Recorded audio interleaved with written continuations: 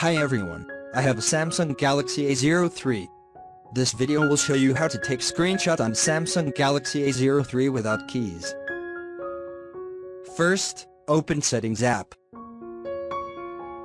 Scroll down, and go to Accessibility.